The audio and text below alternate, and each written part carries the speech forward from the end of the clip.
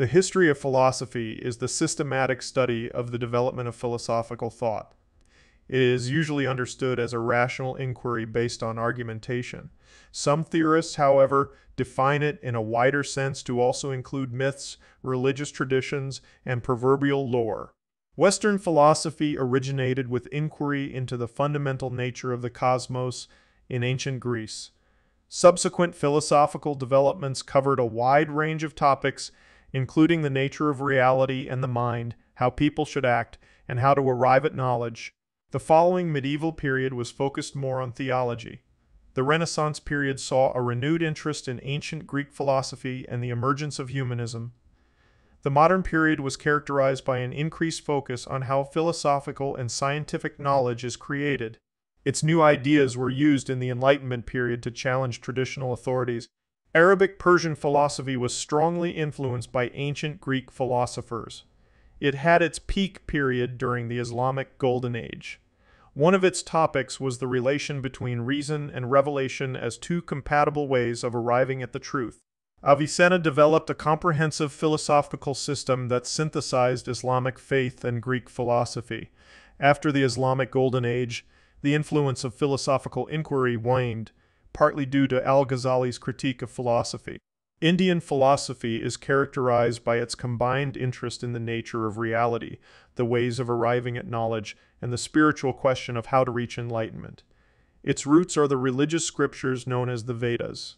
Subsequent Indian philosophy is often divided into orthodox schools, which are closely associated with the teachings of the Vedas, and heterodox schools like Buddhism and Jainism. In the modern period, the exchange between Indian and Western thought led various Indian philosophers to develop comprehensive systems. They aimed to unite and harmonize diverse philosophical and religious schools of thought. Chinese philosophy was more interested in right social conduct and government than in ultimate reality.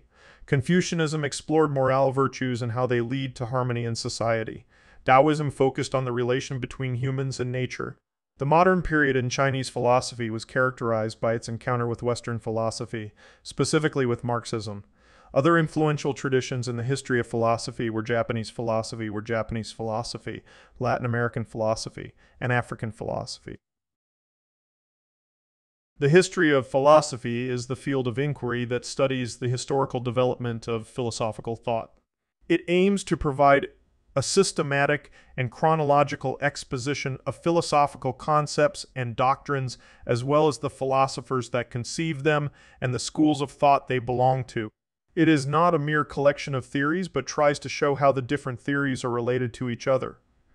For example, some schools of thought build on earlier theories while others reject them and try to provide alternative explanations. Purely mystical and religious traditions are often excluded from the history of philosophy if their claims are not based on rational inquiry and argumentation. But some theorists treat the topic in a very wide sense to include the philosophical aspects of traditional worldviews, religious myths, and proverbial lore. The history of philosophy has both a historical and a philosophical component. The historical component is concerned with how philosophical thought unfolded throughout the ages. It asks which philosophers held what views and how they were influenced by their social and cultural contexts. The philosophical component concerns whether the studied theories are true. It reflects on the arguments presented for the positions and assesses their validity and hidden assumptions. It makes the philosophical heritage accessible to a contemporary audience and evaluates its continued relevance today. Some historians of philosophy focus primarily on the historical component. They hold that the history of philosophy is part of the wider discipline known as intellectual history, other theorists put more emphasis on the philosophical component. They tend to claim that the history of philosophy goes beyond intellectual history because its interest is not exclusively historical. Closely related to the history of philosophy is the historiography of philosophy, is the historiography of philosophy. The historiography of philosophy examines what methods historians of philosophy use. It is also interested in how the dominant opinions in this field changed different methods and approaches are used to study the history of philosophy. Some historians are mainly interested in the philosophical theories and less in the fact that they were formulated in the past. They focus not on how the different positions evolved through time, but on what claims they made and how they are still of interest. A different approach is to see the history of philosophy as an evolution. This approach is based on the assumption that there is a clear progress from one period to the next. In this process, earlier theories are refined or replaced by more advanced later theories. Other historians try to understand past philosophical theories as a product of their time. Their interest is in what positions past philosophers accepted and why they did so. The relevance of these positions for today is not their focus. They study, among other things, how the historical context and the philosopher's biography shaped their philosophical outlook. Another important methodological feature is the use of periodization. It consists in splitting the history of philosophy into distinct periods. Each period corresponds to one or several philosophical tendencies prevalent during that historical time frame. Traditionally, treatments of the history of philosophy often focus primarily on Western philosophy. But in a wider sense, it includes many non-Western traditions like Arabic Persian philosophy, Indian philosophy, and Chinese philosophy. Western philosophy covers the philosophy associated with the geographical region and cultural heritage of the Western world. It started in ancient Greece and then shifted to the Roman Empire. It later spread to Western Europe and eventually to many other regions, including North America, Latin America, and Australia. It spans over 2.5 millennia, starting in the 6th century BCE, and continuing until the present day. Western philosophy originated in ancient Greece in the 6th century BCE. This period ended by convention in 529 CE, when the Platonic Academy and other philosophical schools in Athens were forced to shut down to stop their non-Christian doctrines. The first period of ancient Greek philosophy is called pre-Socratic philosophy and lasted until about the mid-4th century BCE. The study of pre-Socratic philosophy is often difficult because many of the texts only survived in fragments and often have to be studied indirectly based on quotations found in other texts. A key innovation of pre-Socratic philosophy was its attempt to provide rational explanations of the cosmos as its attempt to provide rational explanations of the cosmos as a whole. This was in contrast to commonly held Greek mythology, which provided theological interpretations, such as the myth of Uranus and Gaia, to emphasize the role of various gods and goddesses who would continue to be worshipped even as Greek philosophy developed across the centuries. The pre-Socratic philosophers became some of the first to reject Greek theology, instead seeking in its place to provide empirical theories explaining how the world came to be and why it functions the way it does. Thales circa 624 545 BC who is usually seen as the very first philosopher sought to describe the cosmos in terms of a first principle, or arche, which was the primal source of all things, and suggested that water was this arche. Anaximander, circa 610 545 BCE, gave a more abstract explanation, arguing that the eternal substance responsible for the creation of the world lies beyond the world of human perception. He called his arche the apeiron, meaning the boundless, Heraclitus circa 540-480 BC e saw a world where everything is in constant flux. This is exemplified in his famous statement that it is impossible to step into the same river twice. He also emphasized the role of Logos as an order that governs both the inner self and the outer world. Parmenides circa 515-450 BCE rejected this emphasis on flux, claiming that true reality is unchanging, eternal, and indivisible. Parmenides' student Zeno of Elea circa 490-430 BCE formulated various paradoxes in support of this idea, arguing that motion was an illusion and change was impossible. One paradox argues that it is impossible for the fast Achilles to overtake the slower tortoise. Another influential theory was the atomism of Democritus circa 460-370 BCE. E, which states that reality is made up of many indivisible particles called atoms. Further pre-Socratic philosophers are Anaximenes, Pythagoras, Xenophanes, Empedocles, Anaxagoras, and Leucippus and the sophists such as Protagoras and Gorgias. The philosophy of Socrates, 469 399 BCE, and Plato 427 347 BCE, built on pre Socratic philosophy but also changed the philosophical focus in many ways. Crates did not write anything and owes his influence to the impact he made on his contemporaries. This concerns specifically his way to conduct philosophical inquiries in the form of so called Socratic dialogues. They often start with simple questions in an attempt to explore a topic and critically reflect on underlying ideas and assumptions. In contrast to the pre Socratics, his focus was less on metaphysical theories and more on moral philosophy. In many of his dialogues, he explored the question of what it means to lead a good life by exploring virtues like justice, courage, and wisdom. Despite being regarded as a great teacher of ethics, Socrates did not typically teach any specific moral doctrines. Instead, he tried to prompt his audience to think for themselves and become aware of their ignorance. Most of what is known of Socrates comes from the writings of his student Plato. Plato's works take the form of dialogues between other philosophers. This makes it difficult to reconstruct which of his doctrines are his own theories. He articulated the theory of forms, which claims that the true nature of reality is found in abstract and eternal forms or ideas. Examples are the forms of beauty, justice, and goodness. The physical and changeable world of the senses, on the other hand, is only an imperfect copy of the forms. The theory of forms shaped subsequent views of metaphysics and epistemology to this day. Plato can also be regarded as a pioneer in the field of psychology. He divided the soul into three faculties reason, spirit, and desire, which are responsible for different mental phenomena and interact with each other in many ways. Other contributions of Plato concern the fields of ethics and political philosophy. Plato also founded his academy, which is sometimes considered the first institute of higher education.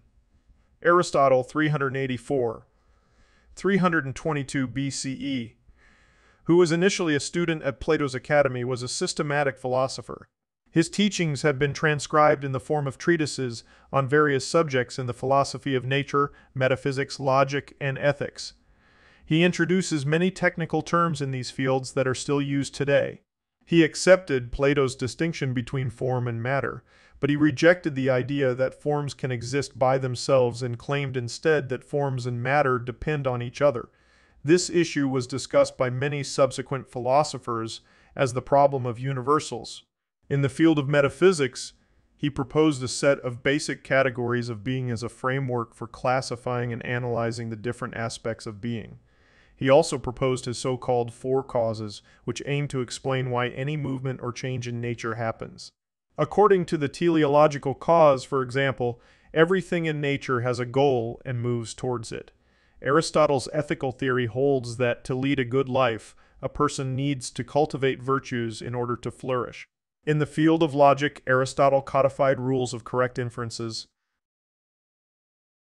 Ancient philosophy, after Aristotle, was marked by the emergence of wider philosophical movements like Epicureanism, Stoicism, and Skepticism, the so called Hellenistic schools of thought. Their inquiry focused on fields like ethics, physics, logic, and epistemology. This period began with the death of Alexander the Great in 323 BCE and had its main impact until the end of the Roman Republic in 31 BCE. The Epicureans accepted and refined Democritus's idea that nature is composed of indivisible atoms. In the field of ethics, they saw pleasure as the highest good, but rejected the idea that luxury and indulging in sensory pleasures lead to long term happiness. Instead, they argued that a nuanced form of hedonism, a simple life characterized by tranquility, was the best way to achieve this. The Stoics denied this hedonistic outlook. They saw desires and aversions as obstacles to their goal of living in tune with reason and virtue. In order to transcend or overcome these desires, they advocated self mastery and an attitude of indifference. The skeptics explored the question of how judgments and opinions affect well being. They claimed that dogmatic beliefs cause emotional disturbances. They recommended that people suspend judgments for issues where certainty is not possible. According to some skeptics, this applies to all beliefs and any form of knowledge is impossible. The school of Neoplatonism belongs to the later part of the ancient period. It started in the 3rd century CE and had its peak period until the 6th century CE. It inherited many ideas from Plato and Aristotle and transformed them in creative ways. Its core idea is that there is a transcendent and ineffable entity responsible for all existence. It is simply called the One or the Good. The intellect emerges from the One and contemplates it. This in turn gives rise to the soul, which generates the material world. Influential Neoplatonists were Plotinus, 204-270 CE and his student Porphyry, 234, 334, 305. The medieval period in Western philosophy started between 400 and 500 CE and ended between 1400 and 1500 CEE. One of its core differences from earlier philosophers is its focus on religious thought. The Christian Emperor Justinian forced schools of philosophy, such as Plato's Academy, to close. Intellectual activity was centralized in the church and departing from doctrinal orthodoxy carried many risks. For these reasons, some consider it a dark age in comparison to what came before and after it. Central topics in this period were the problem of universals, the nature of God, proofs of the existence of God, and the relation between reason and faith. The early medieval period was particularly shaped by Plato's philosophy, while Aristotelian ideas became dominant in its later parts. Augustine of Hippo, 354-430 CE, was influenced by Platonism and used this perspective to explain the key concepts and problems of the Christian doctrine. He accepted the Neoplatonist idea that God or the ultimate source is both good and incomprehensible. This prompted him to address the problem of evil, i. Uh, to explain how evil could exist in a world created by a benevolent, all-knowing, and all-powerful God. His explanation is that God gave humans free will. This enables them to do good and evil together with the responsibility for their choice. Further influential ideas of Augustine were his arguments for the existence of God, his theory of time, and his just war theory.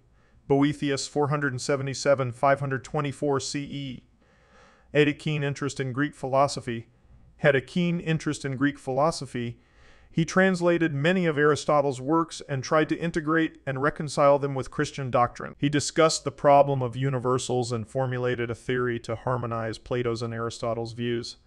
He tried to achieve this by claiming that universals exist in the mind without matter in one way, but they also exist in material objects in another way.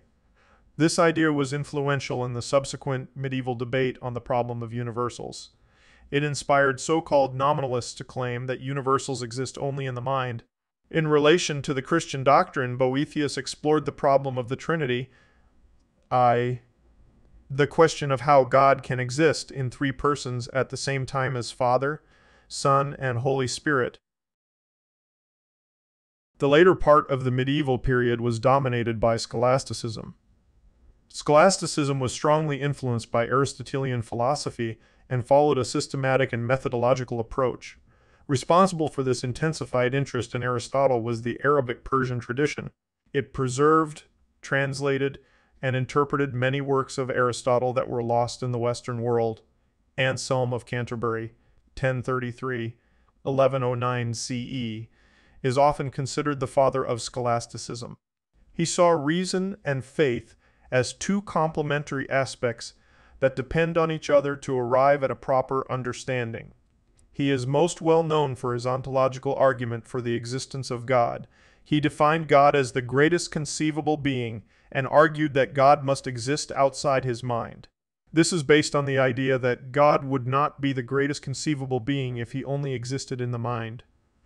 Peter Abelard, TN 79, 1142, also emphasized the harmony between reason and faith. He claimed that both emerge from the same divine source. For this reason, he concluded that there cannot be a contradiction between them. Another influential innovation was his nominalism, which claimed that universals exist only as mental constructs. Thomas Aquinas, 1224-1274 CE, is often seen as the most influential medieval philosopher. Rooted in Aristotelianism, he developed a comprehensive system of scholastic philosophy. It covered areas like metaphysics, theology, ethics, and political theory. Many of his insights were summarized in his work Summa Theologiae. A key goal in most of his writings was to show how faith and reason work in harmony. He held that reason supports and reinforces the Christian tenets, but faith in God's revelation is still necessary since reason is unable to understand everything by itself. This concerns, for example, the claim that the world is eternal and the details of how God is related to his creation. In metaphysics, Thomas claimed that any entity is characterized by two aspects essence and existence. Understanding a thing involves grasping its essence. This can happen without perceiving whether it exists. God constitutes a special case. His existence is unrestricted and is identical to his essence. In ethics, Thomas held that moral principles are rooted in human nature. He thought that ethics is about doing what is good and that humans as rational beings have a natural inclination to pursue the good. In natural theology, his famous five ways are five arguments for the existence of God. Duns Scotus 1266, 1308 c. E. E. engaged with many of Thomas's ideas. In metaphysics, he rejected the claim that there is a real distinction between essence and existence. He held instead that this is only a formal distinction. This means that essence and existence are two different aspects of a thing, but they cannot be separated. He further claimed that there is a unique essence for each individual entity. This unique essence, called haecceity, is what makes an entity distinct from other entities of the same kind. William of Ockham, 1285-1347 c., is one of the last scholastic philosophers. He is the inventor of the methodological principle known as Occam's razor. This principle is used to choose between competing explanations of the same phenomenon. It states that simple explanations are to be preferred. In this context, an explanation is simpler if it assumes the existence of fewer entities. Occam used the principle to argue for nominalism and against realism and against realism about universals. According to him, nominalism is the simpler exploration since it does not assume that universals exist. The Renaissance period started in the middle of the 14th century and lasted until the beginning of the 17th century. This movement had its roots in Italy and gradually expanded to other regions of Western Europe. Some of its key aspects were renewed interest in ancient Greek philosophy and the emergence of humanism.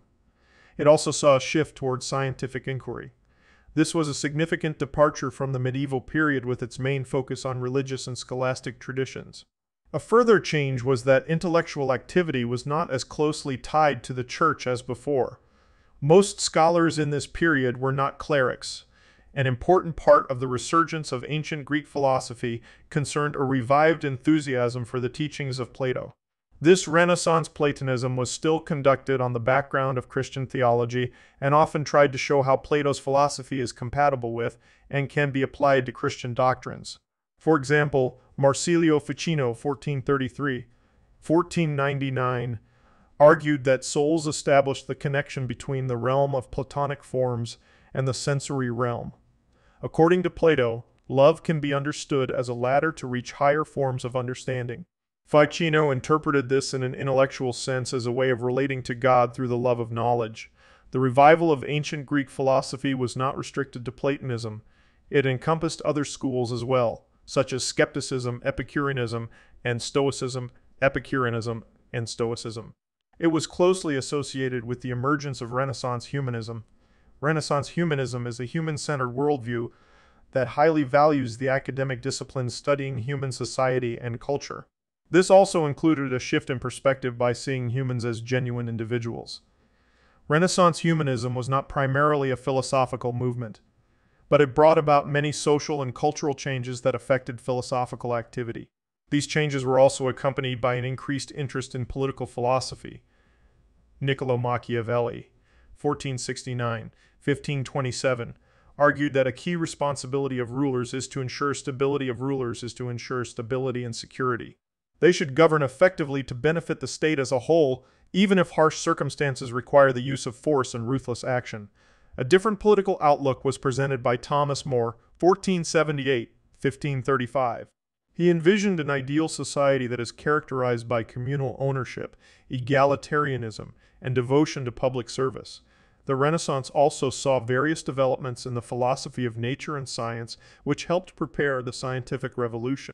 One of them concerned the emphasis on empirical observation for scientific inquiry. Another was the idea that mathematical explanations should be employed to understand those observations. Francis Bacon, 1561. 1620, 1620, 1620, 1620, 1626 CE, is often seen as a transitional figure between the Renaissance and modernity. He tried to revolutionize logic and scientific inquiry with his Novum Organum, which was meant to replace Aristotle's influential work in this field. It discussed, for example, the role of inductive reasoning for empirical inquiry to arrive at general laws from many individual observations. Another transitional figure is Galileo Galilei, 1564-1642 CE. He played a key role in the Copernican revolution by claiming that the sun, and not the earth, is at the center of the solar system. Early modern philosophy encompasses the 17th and 18th centuries. The philosophers in this period are traditionally divided into empiricists and rationalists, however. Contemporary historians have argued that this is not a strict dichotomy and more a matter of varying degrees. These schools have in common that they seek a clearly established, rigorous, and systematic method of inquiry. This philosophical focus on method reflected the advances happening simultaneously as part of the scientific revolution. Empiricism and rationalism differ concerning the type of method they promote. Empiricism focuses on sensory experience. Rationalism emphasizes reason, particularly the principles of non-contradiction and sufficient reason and innate knowledge. This focus on method was already foreshadowed in Renaissance thought but only came to full prominence in the early modern period. The second half of this period saw the emergence of the Enlightenment movement. It used these advances to challenge traditional authorities while promoting progress, individual freedom, and human rights. Empiricism in the early modern period was mainly associated with British philosophy. John Locke, 1632-1704, is sometimes considered the father of empiricism. In his book An Essay Concerning Human Understanding, he rejected the idea of innate knowledge and claimed that knowledge is empirical. He held that the mind is a blank slate that depends on sensory experience to acquire ideas. He distinguished between primary qualities which belong to external objects independent of observers and secondary qualities, which are the powers of objects to cause sensations in observers. George Berkeley, 1685-1753, was strongly influenced by Locke. He proposed a different and more radical form of empiricism. He developed a form of idealism by giving primacy to perceptions and ideas over material things. He argued that objects exist only to the extent that they are perceived by the mind. This implies that there is no reality outside the mind. David Hume, 1711, 1776, also accepted the basic empiricist tenet that knowledge is derived from sensory experience. He concluded from this idea that it is not possible to know that one thing caused another thing. His reason for this view was that the relation between cause and effect is not perceptible. Instead, he argued that the mind only perceives regular patterns between earlier and later phenomena. This leads it into a habit of expecting a phenomenon to occur because another one just occurred. The empiricism promoted by Hume and others had an important influence on the scientific method. This concerned specifically the focus on observation, experimentation, and rigorous testing. Another dominant school of thought in this period was rationalism. René Descartes, 1596 1650, had a pivotal role in its emergence. He aimed to arrive at absolutely certain knowledge, to do so, he employed methodological doubt by questioning all his beliefs to find an indubitable foundation of knowledge. He encountered this foundation in the claim, I think, therefore I am. He employed various rationalist principles, such as the focus on deductive reasoning, to develop a comprehensive philosophical system based on this foundation. It is based on substance dualism and claims that body and mind are independent entities that coexist. The rationalist philosophy of Baruch Spinoza, 1632-1670, 1670, gave even more emphasis to the role of deductive reasoning. He developed and used the so-called geometrical method to create his philosophical system. It starts with a small set of self-evident axioms. It proceeds by inferring a comprehensive philosophical system from them by using deductive reasoning. In contrast to Descartes, Spinoza arrived at a metaphysical monism. Another influential rationalist was Gottfried Wilhelm Leibniz, 1646, 1716. His principle of sufficient reason states that everything has a reason. He used this principle to develop his metaphysical system called monadology. The later half of the early modern period saw the emergence of the cultural and intellectual movement known as the Enlightenment.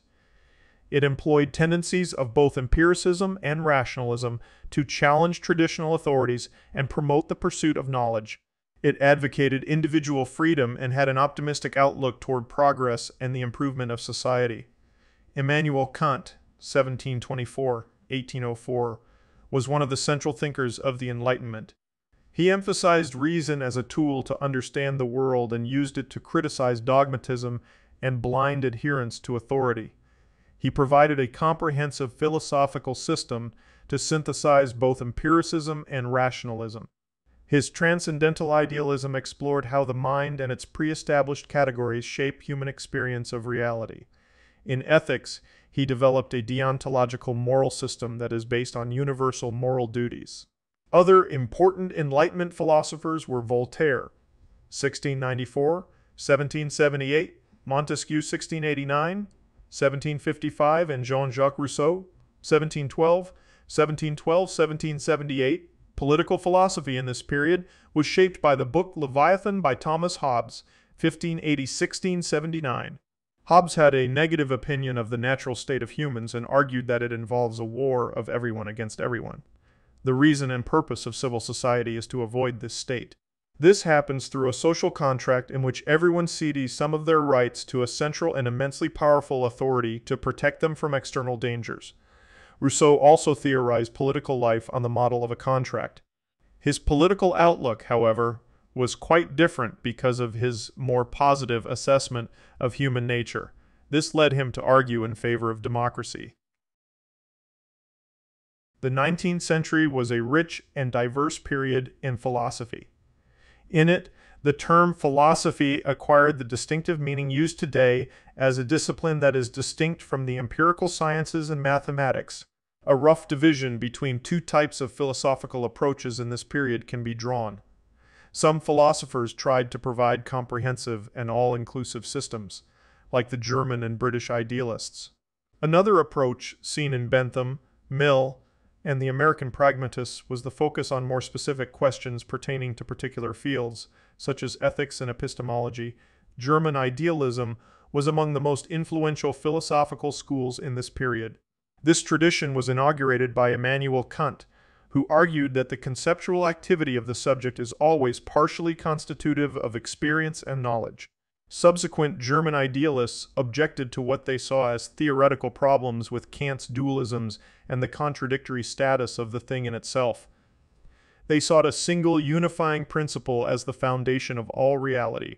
According to Johann Gottlieb Fichte, 1762, 1814, this principle is the activity of the subject or transcendental ego, which posits both itself and its opposite. Friedrich Wilhelm Joseph Schelling, 1775, 1854 rejected this focus on the ego. He sought a more abstract principle, referred to as the absolute or the world soul, to act as the foundation of both consciousness and nature. The philosophy of Georg Wilhelm Friedrich Hegel 1770-1831 is often described as the culmination of this tradition. Hegel reconstructed a philosophical history according to which the measure of progress is the actualization of freedom, he did this not only with respect to political life, but also with respect to philosophy, the aim of which he claimed is a form of self-knowledge characterized by the identity of subject and object. His term for this is the absolute because such knowledge, which occurs in art, religion, and philosophy, is entirely self-conditioned. Further influential currents of thought in this period were historicism and Neo-Kantianism. Historicists such as Johann Gottfried Herder emphasized the validity and unique nature of historical knowledge of individual events in contrast to universal knowledge of eternal truths. Neo-Kantianism was a diverse philosophical movement that revived and reinterpreted Kant's ideas, British idealism developed later in the 19th century and was strongly influenced by Hegel. For example, Francis Herbert Bradley, 1846 1924, argued that reality is an all inclusive totality of being that is identified with absolute spirit. He is also famous for claiming that external relations do not exist.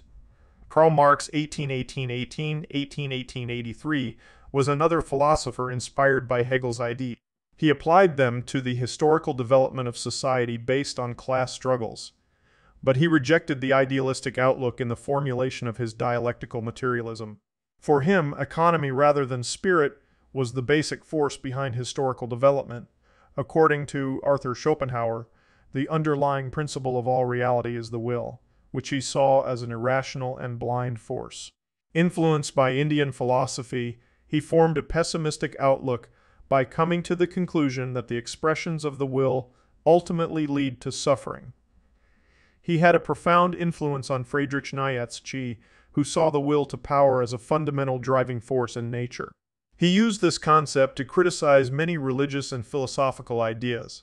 He saw them as disguised attempts to wield power rather than pure spiritual achievements. In the field of ethics, Jeremy Bentham, 1740 1830, 1832, to develop his philosophy of utilitarianism. It states that whether an action is right depends on its utility, i.e., uh, on the pleasure and pain it causes. The goal of actions is to maximize happiness or to produce the greatest good for the greatest number. His student John Stuart Mill, 1806 1873, became one of the foremost proponents of utilitarianism. He further refined the theory by claiming that what matters is not just the degree of pleasure and pain, but also their type or quality.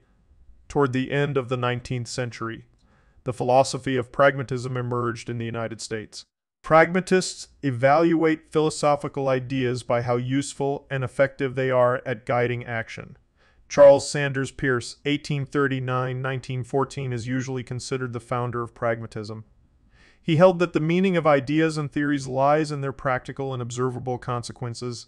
According to this view, to say that an object is hard just means that, on a practical level, it is difficult to break, pierce, or scratch this object. He held that a true belief is a stable belief that works even if it has to be revised in the future. His pragmatist philosophy reached a wider popularity thanks to his lifelong friend William James 1842-1910. James applied Peirce's ideas to psychology. He argued, for example, that the meaning of an idea consists in its experiential consequences. He rejected the claim that experiences are isolated events and talked instead of a stream of consciousness. Philosophy in the 20th century is usually divided into two main traditions. Analytic philosophy and continental philosophy. Analytic philosophy was dominant in English-speaking countries. It emphasizes the importance of clarity and precise language. It often employs tools like formal logic and linguistic analysis to examine traditional philosophical problems in the fields of metaphysics, epistemology, science, and ethics continental philosophy was more prominent in European countries, particularly in Germany and France. It is used as an umbrella term without a precisely established meaning. It covers philosophical movements like phenomenology, hermeneutics, existentialism, deconstruction, critical theory, and psychoanalytic theory, Interest in academic philosophy increased rapidly in the 20th century in terms of the number of philosophical publications and of philosophers working at academic institutions. Another change in this period was the increased presence of female philosophers. However, despite this improvement, they remained underrepresented. Some schools of thought in 20th century philosophy do not clearly fall into either analytic or continental philosophy. Pragmatism further evolved from its 19th century roots thanks to scholars like Richard Rorty, 1931 2007, and Hilary Putnam, 1926 2016. It was applied to new fields of inquiry such as epistemology, politics, education, and the social sciences. Philosophy in the 20th century also saw the rise of feminism, which studies and criticizes traditional assumptions and power structures that disadvantage women. George Edward Moore, 1873 1958, was one of the founding figures of analytic philosophy. He emphasized the importance of common sense and used it to argue against radical forms of skepticism. He was particularly influential in the field of ethics, where he claimed that our actions should promote the good. He held that the concept good cannot be defined in terms of other concepts. According to him, whether something is good can be known through intuition. Gottlob Frege, 1848-1925, was another pioneer of the analytic tradition. His development of modern symbolic logic had a significant impact on subsequent philosophers, even outside the field of logic. He employed these advances in his attempt to prove that arithmetic can be reduced to logic. This thesis is known as logicism. The logicist project of Bertrand Russell, 1872-1970, was even more ambitious since it included not only arithmetic but also geometry and analysis. Their attempts were very fruitful but did not fully succeed since additional axioms, besides the axioms of logic, are required. In the philosophy of language, Russell's theory of definite descriptions was influential. It explains how to make sense of paradoxical expressions like the present King of France, which do not refer to any entity. He developed the theory of logical atomism, which was further refined by his student Ludwig Wittgenstein, 1889-1951. According to Wittgenstein's early philosophy, the world is made up of a multitude of atomic facts. The world and language have the same logical structure, which is why it is possible to represent these facts using propositions. Despite the influence of this theory, Wittgenstein came to reject it in his later philosophy. He argued instead that language consists of a variety of games, each with its own rules and conventions. According to this view, meaning is determined by usage and not by referring to facts. Logical positivism developed in parallel and was strongly influenced by empiricism. It is primarily associated with the Vienna Circle and focused on logical analysis and empirical verification. One of its members was Rudolf Carnap, 1891-1970. He defended the verification principle which claims that a statement is meaningless if it cannot be verified through sensory experience or the laws of logic. He used this principle to reject the discipline of metaphysics in general. This principle was criticized by Carnap's student Willard Van Orman Quine, 1908-2000, as one of the dogmas of empiricism. One of the core ideas of Quine's philosophy was naturalism, which he understood as the claim that the natural sciences provide the most reliable framework for understanding the world. He used this outlook to argue that mathematical entities have real existence because they are indispensable to science. Wittgenstein's later philosophy formed part of ordinary language philosophy, which analyzed everyday language to understand philosophical concepts and problems. The Theory of Speech Acts by John Langshaw Austin, 1911-1960, was an influential early contribution to this field. Other theorists in this tradition were Gilbert Ryle, 1900-1976, and Sir Peter Frederick Strawson, 1919-2006. The shift in emphasis on the role of language is known as the linguistic turn. Richard Mervyn Hare, 1919, 2002, and John Leslie Mackie, 1917, 1917 1981, were influential ethical philosophers in the analytic tradition. John Rawls, 1921 2002, and Robert Nozick, 1938 2002, made significant contributions to political philosophy. In the tradition of continental philosophy, phenomenology was an important early movement. It tried to give an unprejudiced description of human experience from a subjective perspective. It used this description as a method to analyze and evaluate philosophical problems belonging to diverse fields like epistemology, ontology, philosophy of mind, and ethics. Its founder was Edmund Husserl, 1859-1938. He emphasized the importance of suspending all antecedent beliefs to give a pure and unbiased description of experience as it unfolds. His student Martin Heidegger, 1889-1976, adopted this method into an approach he termed fundamental ontology. He explored how human pre-understanding of reality shapes human experience of and engagement with the world. He thought that pure description alone is not sufficient for phenomenology. Instead, it should be accompanied by interpretation to discover and avoid possible misunderstandings. This line of thought was further developed by his student Hans Georg Gadamer, 1900-2002. Gadamer held that human pre-understanding is dynamic and changes in the process of interpretation. He tried to explain this process as a fusion of horizons. The fusion of horizons involves an interplay between the person's current horizon and the horizon of the object of interpretation. Another influential current of thought in Heidegger's philosophy is his emphasis on how humans care about the world. He explored how this is related to phenomena like anxiety and authenticity.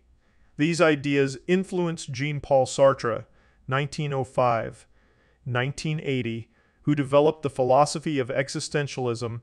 Existentialists hold that humans are fundamentally free and responsible for their own choices. They also claim that life lacks a predetermined purpose and choosing one's path without such a guiding purpose can lead to anxiety. The statement that the universe is meaningless was especially emphasized by absurdist intellectuals like Albert Camus 1913, 1913-1960. The second half of 20th century continental philosophy was characterized by a critical attitude toward many traditional philosophical concepts and assumptions, such as the concepts of truth, objectivity, universal explanations, reason, and progress. Michel Foucault, 1926-1984, examined the relation between knowledge and power. He tried to show how knowledge is always shaped by power. Jacques Derrida, 1930-2004, developed the philosophy of deconstruction. Deconstruction aims to expose hidden contradictions within philosophical texts by subverting the oppositions they depend on. Examples are the opposition between presence and absence or between subject and object. Gilles Deleuze, 1925, 1995, drew on psychoanalytic theory to criticize and reimagine traditional concepts like desire, subjectivity, identity, and knowledge. Arabic Persian philosophy covers the philosophical tradition associated with the intellectual and cultural heritage of Arabic and Persian-speaking regions. Other common labels for roughly the same tradition are Islamic philosophy or philosophy in the Islamic world. The classical period of Arabic Persian philosophy started in the early 9th century CE, roughly 200 years after the death of Prophet Muhammad. It spanned until the late 12th century CE and formed part of the Islamic Golden Age. The early classical period covered the philosophy before Avicenna and had a particular emphasis on translations and interpretations of ancient Greek philosophy. The late classical period after Avicenna was shaped by the engagement with his comprehensive philosophical system. Arabic Persian philosophy proved influential for Western philosophy. During the early medieval period, many of the Greek texts were not available in Western Europe. They became accessible in the later medieval period thanks to the preservation and transmission by the Arabic Persian intellectual tradition. The early Arabic intellectual tradition before the classical period was characterized by various theological discussions. They focused primarily on the question of the correct understanding of the Islamic revelation. Some historians see this already as part of Arabic Persian philosophy, while others draw a more narrow distinction between theology, kalam, and philosophy proper, falsafa. Theologians implicitly accepted the truth of the revelation and restricted their inquiry to the field of religion, such as proofs of the existence of God. The philosophers, on the other hand, investigated a wider range of topics and also explored claims not directly covered by the scriptures. Early classical Arabic Persian philosophy was strongly influenced by ancient Greek philosophy. This concerns specifically the philosophy of Aristotle, but includes also other philosophers such as Plato. It happened both through translations and comprehensive commentaries. A key motivation of this process was to integrate and reconcile Greek philosophy with Islamic thought. Islamic philosophers emphasized the role of rational inquiry and examined how to harmonize reason and revelation. Al-Kindi, 801, 873, is often considered the first philosopher of this tradition in contrast to the more theological works of his predecessors. He followed Aristotle in seeing metaphysics as the first philosophy and the highest science. From his theological outlook, it studies the essence and attributes of God. He drew on Plotinus's doctrine of the one to argue for the oneness and perfection of God. For him, God emanates the universe by bringing being to be from non-being. In the field of psychology, he argued for a dualism that draws a strict distinction for humans concerning their immortal souls in contrast to their mortal bodies. Al-Kindi was a prolific author and published about 270 treatises in his lifetime. Al-Farabi circa 872 950 was strongly influenced by Al-Kindi and accepted his emanationist theory of creation. Al-Farabi claimed that philosophy, rather than theology, is the best pathway to truth. His interest in logic earned him the title the second master after Aristotle. He came to the conclusion that logic is universal and constitutes the foundation of all language and thought. This contradicts certain passages in the Quran which assign this role to Arabic grammar. In his political philosophy, Al-Farabi accepted Plato's idea that a philosopher king would be the best ruler. He discussed the virtues such a ruler should have, the tasks they should engage in, and the reasons why this ideal is not realized. Al-Farabi also provided an influential classification of the different sciences and fields of inquiry. Avicenna, 980-1037, drew on the philosophies of the ancient Greeks and Al-Farabi to develop a comprehensive philosophical system. It aimed to provide a holistic and rational understanding of reality that encompasses science, religion, and mysticism. He saw logic as the foundation of rational inquiry. In the field of metaphysics, he held that substances can exist by themselves while accidents always depend on something else. For example, color is an accident that requires a body to exist. Avicenna distinguished between two forms of existence, contingent and necessary existence. God is necessary existence. Everything in the world was caused by God and only exists contingently. In the field of psychology, he saw souls as substances that bring things to life. Plants have the lowest form of souls. The souls of animals and humans have additional faculties, like the ones responsible for the power to move, sense, and think rationally. In the field of ethics, Avicenna recommended the pursuit of moral perfection which can be achieved by following the teachings of the Quran. His system exerted a profound influence on both Islamic and Western philosophy. Al-Ghazali, 1058-1111, was very critical of Avicenna's rational method and his adoption of Greek philosophy. He was skeptical about the capacity of reason to arrive at a true understanding of reality, God, and religion. He saw the philosophy of other Islamic philosophers as an illness, in his book, The Incoherence of the Philosophers, he claimed that many philosophical teachings are filled with contradictions and incompatible with Islamic faith. However, he was not outright opposed to philosophy and assigned it a positive but limited place in Islam. He argued that philosophy should be accompanied by a form of mystical intuition to come to a deeper understanding. This intuition relies on direct personal experience and spiritual insight. Averroes 1126-1198 rejected the skeptical outlook of Al-Ghazali. He tried to show the harmony between the philosophical pursuit of knowledge and the spiritual dimensions of faith. His philosophy relied heavily on Aristotle's teachings. He often criticized Avicenna for departing too much from Aristotle. In the field of psychology, Averroes claimed that there is only one universal intellect shared by all humans, Averroes did not have much influence on subsequent Islamic scholarship, but had a more significant impact on European philosophy. Averroes is often considered the last philosopher of the classical era. The traditional view is that the following post-classical period was marked by a decline on different levels. On the one hand, it is concerned the global influence of Islam. On the other hand, it affected scientific and philosophical inquiry in the Islamic world. Al-Ghazali's doubts about the power of reason and the role of philosophy played an important part in this development. The focus shifted instead to theology and religious doctrine. However, some contemporary scholars have questioned the magnitude of this decline. According to their view, it is better understood as a shift of philosophical interest than a decline. This means that philosophy did not cease but was absorbed and lived on in theology. Mulla Sadra, 1570, 1636, is often seen as the most influential philosopher after the classical era. He belonged to the philosophical and mystical school known as Illuminationism. He saw philosophy as a spiritual practice to foster wisdom and transform oneself into a sage. In metaphysics, his theory of existence was particularly influential. Mulla rejected the traditional idea, associated with Aristotle, that reality is made up of substances that possess static essences. Instead of this substance metaphysics, he advocated a process philosophy that emphasized continuous change and novelty. According to this view, the creation of the world is not a singular event in the past, but an ongoing process.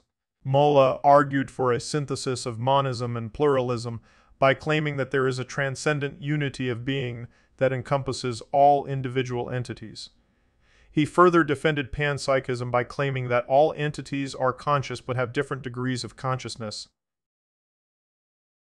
Indian philosophy is the philosophical tradition that originated on the Indian subcontinent. It can be divided into the ancient period, which lasted until the end of the second century CAD, the classical and medieval period, which lasted until the end of the 18th century CE, and the modern period afterward. Indian philosophy is characterized by a deep interest in the nature of ultimate reality. It relates this topic to the field of spirituality and asks questions about how to connect with the divine and reach a state of enlightenment. In this regard, Indian philosophers often acted as gurus in their role of guiding spiritual seekers. Indian philosophy is traditionally divided into orthodox and heterodox schools of thought. They are referred to as astikas and nastikas and nastikas. Their exact definition is disputed. The orthodox schools usually accept the authority of the religious scriptures known as the Vedas. They tend to accept the existence of the self, Atman, and ultimate reality, Brahman, there are six orthodox schools Nyaya, Vaisesika, Samkhya, Yoga, Mimamsa, and Vedanta. The heterodox schools are defined negatively as those that are not orthodox. The main ones are Buddhism and Jainism. The ancient period in Indian philosophy started roughly 900 BCE and lasted until 200 CE. In this period, the Vedas were written. They are the religious texts that form the foundation of a lot of Indian philosophy. They cover many topics, including hymns and rituals. Of special interest to philosophy are the Upanishads. They are late Vedic texts that discuss philosophical topics. Some theorists see the Vedas as part of philosophy proper, while others treat them as a form of proto-philosophy. This period also saw the emergence of non-Vedic movements like Buddhism and Jainism. The Upanishads introduce key concepts in Indian philosophy, like Atman and Brahman. Atman is the self. It is seen as the eternal soul that constitutes the essence of every conscious being. Brahman is ultimate reality. It is the highest principle governing the universe. The Upanishads explore how Atman and Brahman are related. A key idea is that gaining a proper understanding of their relation is a step on the spiritual path toward liberation. Some Upanishads associate this with an asceticist ideal that involves withdrawing from the world to reach self-realization. Others put more emphasis on an active engagement with the world. This is based on the idea that people have social duties to their families and other people. The laws they prescribe are called dharma and depend both on one's social class and one stage of life. Another influential idea is that individual souls are caught in a cycle of rebirth. According to this view, a person's actions in their past life affect their next life, affect their next life. This is known as the law of karma. The Vedas had a wide influence, but not all Indian philosophy originated from them. For example, the non-Vedic movements of Buddhism and Jainism emerged in the 6th century BCE. They agreed with certain Vedic teachings about the cycle of rebirth and the importance of seeking liberation. But they rejected many of the rituals in the social order described in the Vedas. Buddhism was founded by Gautama Siddhartha, 563-483 BK. Gautama challenged the Vedic idea of Atman by arguing that there is no permanent, stable self. He claimed that the belief in a permanent self leads to suffering and that liberation can be attained by realizing the absence of a permanent self. Jainism was founded by Mahavira 599 599 527 BC. Jainists practice respect toward all forms of life. This is expressed in their principle of non-violence. It prohibits killing or harming other beings in action or in thought. Another pillar of Jainism is the claim that there are no absolute truths. It is based on the idea that reality is complex and has many different sides to it, which is why it cannot always be adequately expressed in language. The last pillar of Jainism is the practice of asceticism or non attachment. It implies that practitioners do not become emotionally attached to worldly things and do not cling to them. The classical and medieval period in Indian philosophy started roughly 200 BC and lasted until 1800 CE. Some theorists use the term classical period to refer to this whole duration. Others divide this age into two distinct periods a classical period until 1300 CEE, and a medieval period afterward. The orthodox schools known as the Darsanas developed in the first half of this period. Their foundational scriptures usually take the form of sutras. Sutras are aphorisms or short texts that explain key ideas. The second half of this period was characterized by detailed commentaries on the individual sutras. They aimed to provide comprehensive explanations and interpretations. Samkhya is the oldest of the darsanas. It is a dualistic philosophy claiming that reality is made of two principles Purusha, or pure consciousness, and Prakriti, or matter. Samkhya teaches that Prakriti is characterized by three qualities called gunas Sattva is the guna associated with calmness and harmony. Rajas corresponds to passion and activity. The guna of tamas involves ignorance and inertia. The yoga school formed initially part of Samkhya and only became an independent school later. It is based on the Yoga Sutras of Patanjali and gives special importance to the practice of physical postures and different forms of meditation. Nyaya and Vaisheshika are further orthodox schools. In the field of epistemology, Nyaya claims that there are four sources of knowledge perception, inference, analogical reasoning, and testimony.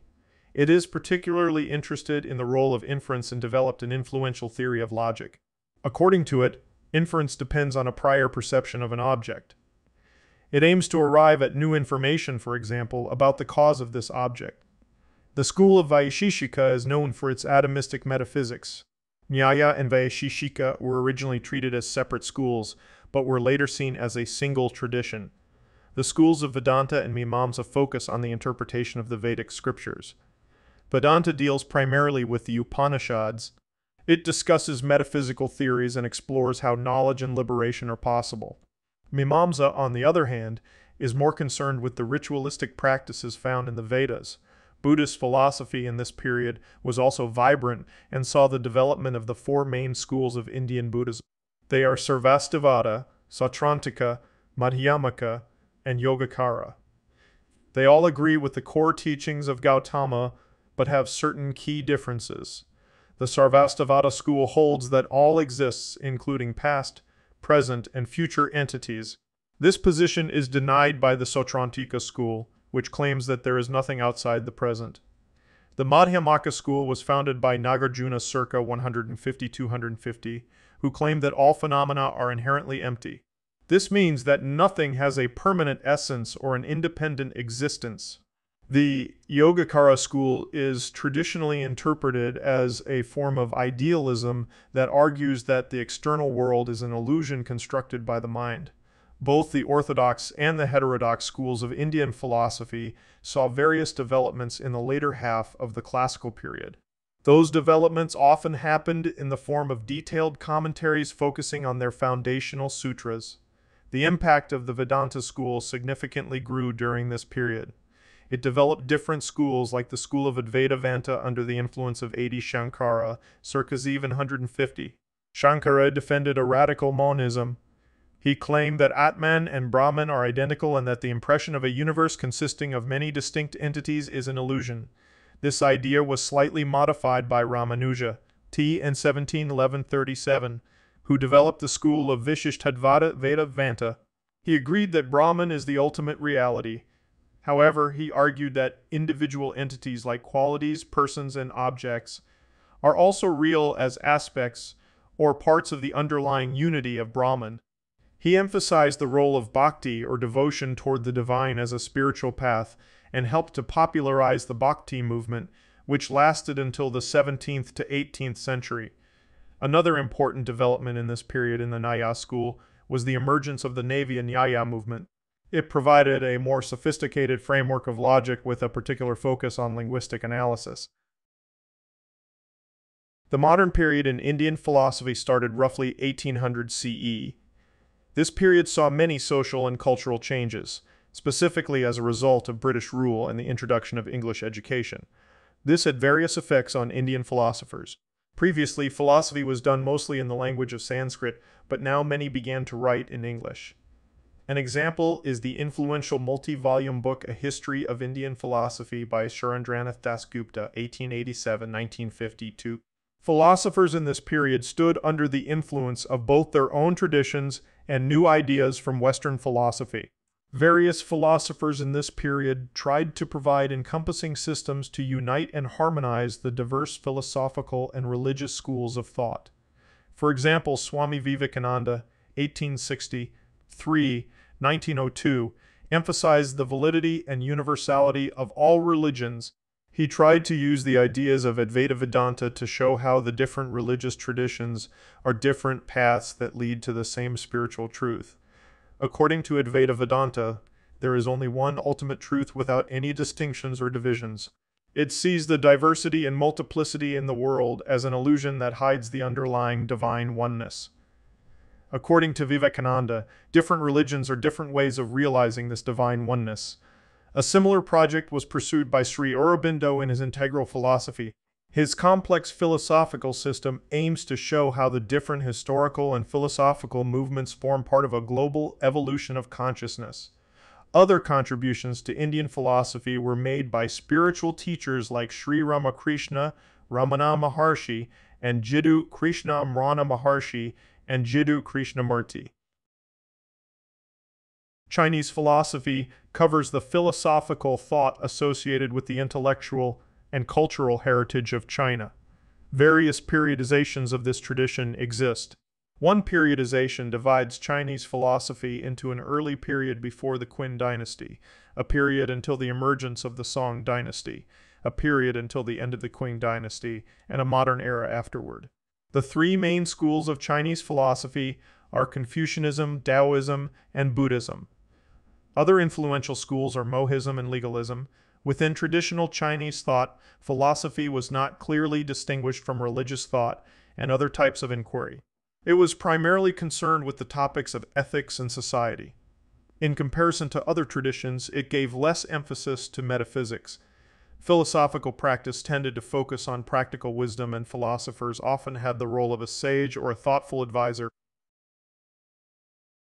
The first period in Chinese philosophy started in the 6th century BCE and lasted until the rise of the Qin dynasty in 221 BCE.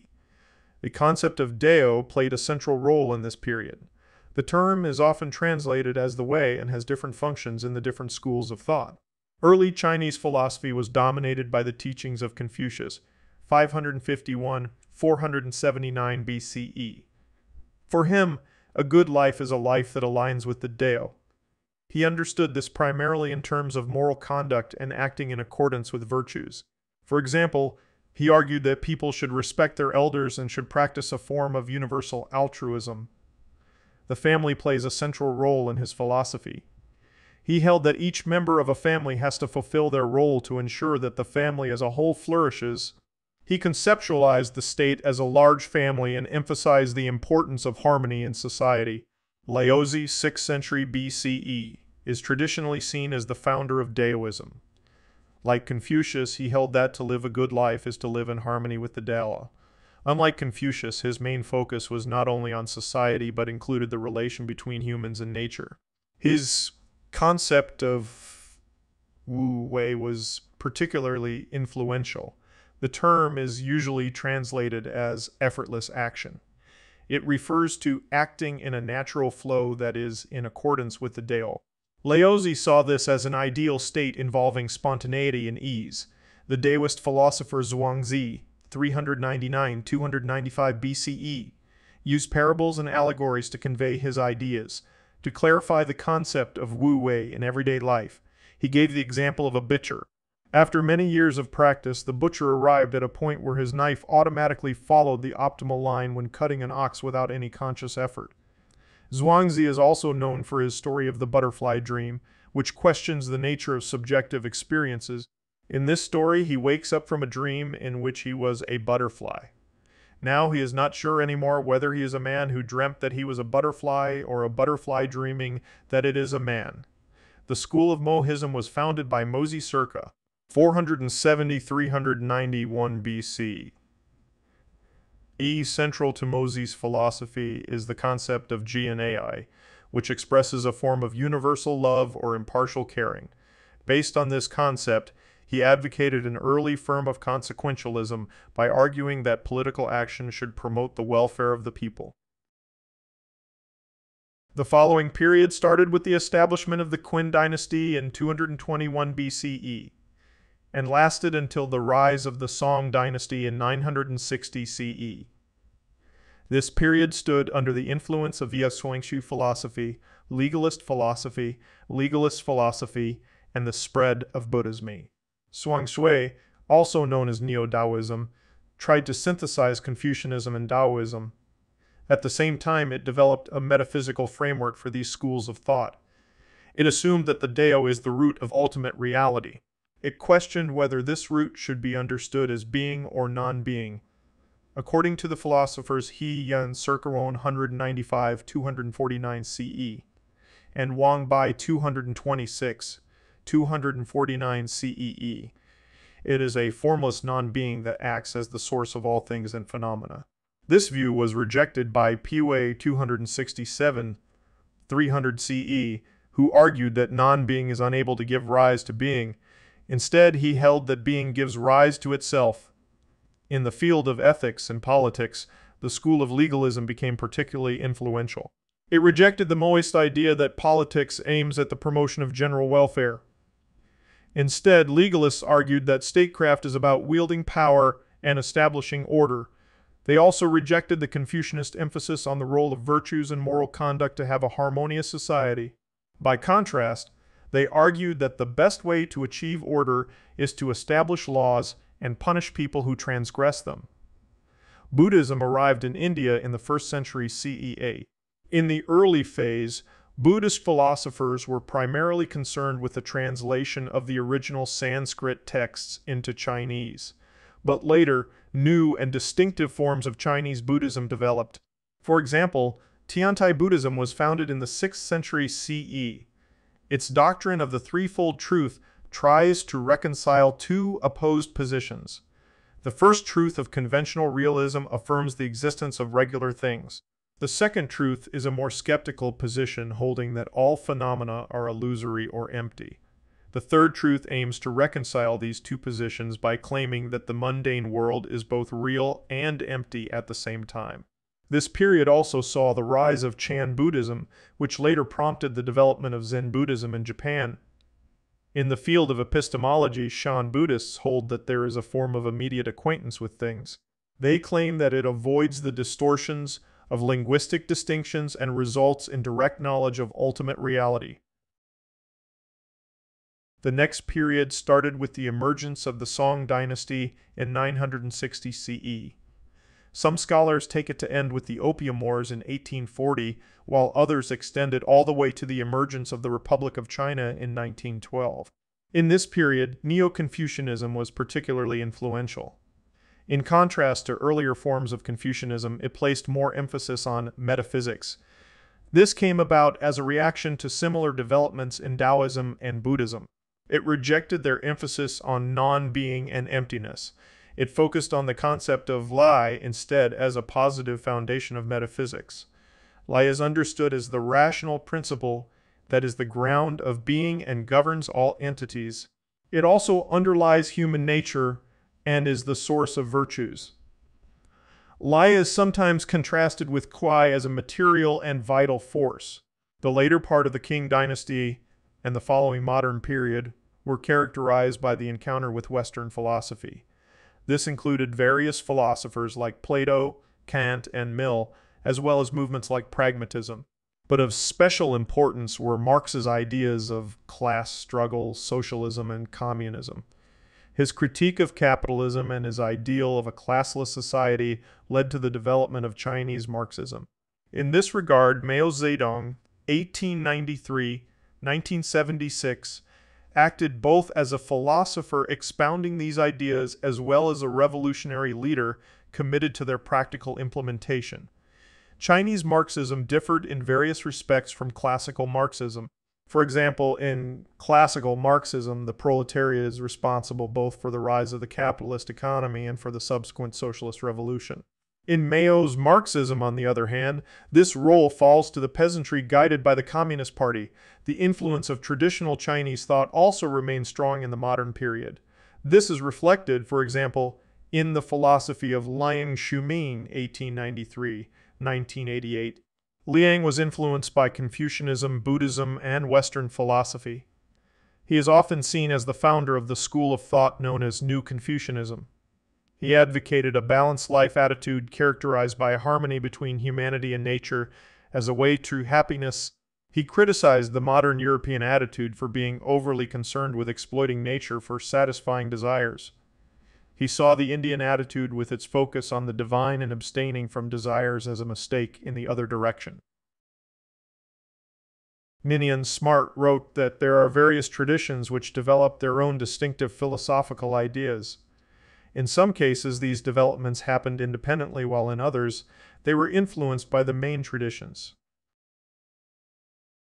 Japanese philosophy is characterized by its engagement with various traditions, including Chinese, Indian, and Western schools of thought. Ancient philosophy was shaped by Shinto, its indigenous religion. It included a form of animism that saw natural phenomena and objects as spirits, the so-called kami. The arrival of Confucianism and Buddhism in the 5th and 6th centuries CEA transformed the intellectual landscape and led to various subsequent developments. Confucianism influenced political and social philosophy and was further developed in different strands of Neo-Confucianism. Japanese Buddhist thought developed particularly in the traditions of Pure Land Buddhism and Zen Buddhism and Zen Buddhism. In the 19th and 20th centuries, the interaction with Western thinkers was a major influence on Japanese philosophy. This concerned in particular the schools of existentialism and phenomenology. This period saw the foundation of the Kyoto School. It was founded by Kitaro Nishida, 1870-1945. He criticized Western philosophy associated with Kantianism for relying on the distinction between subject and object. He tried to overcome this problem by developing the concept of basho. Basho, usually translated as place, may be understood as an experiential domain that transcends the dichotomy between subject and object. Other influential members of the Kyoto School were Tanabe Hajime, 1885, 1962, and Nishitani Keiji, 1900-1990. Philosophy in Latin America is often included in Western philosophy. However, in a more narrow sense, it is a distinct tradition that features its own characteristics despite the strong Western influence. Philosophical ideas concerning the nature of reality and the role of humans in it are found in its indigenous civilizations, like the Aztecs, the Maya, and the Inca. This theorizing happened independently of European influence. But most discussions usually focus on the colonial and post-colonial periods since very few texts of the pre-colonial period survived. The colonial period was dominated by a focus on religious philosophy in the form of scholasticism. In the 18th and 19th centuries, the emphasis shifted to Enlightenment philosophy and the adoption of a scientific outlook in the form of positivism. An influential current in the later part of the 20th century was the philosophy of liberation. It was inspired by Marxism and focused on topics like political liberation, intellectual independence, and education, in the widest sense, African philosophy covers philosophical ideas that originated anywhere in the African continent. However, the term is often understood in a more narrow sense to relate primarily to the regions of Western and Sub-Saharan Africa.